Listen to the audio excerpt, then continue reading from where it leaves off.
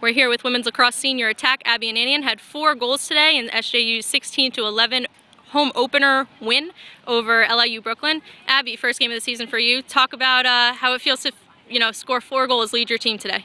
Um, it feels so good to be back. I miss my team a lot. Playing on the field with them is the glory of what we do from the day we get here on campus.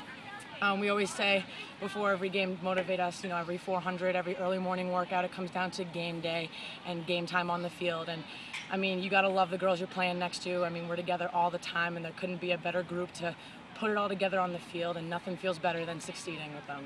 Heading into Drexel um, on Sunday, what are you guys going to look to, you know, either continue with or improve on heading into Sunday? Sure. Drexel is not in our conference, but it's a Philly Turf War game for us, so it's a really important win.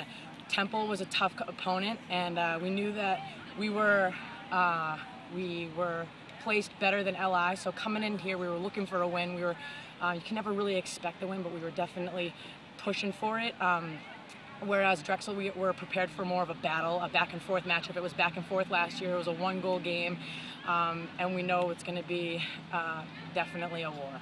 We're ready for it.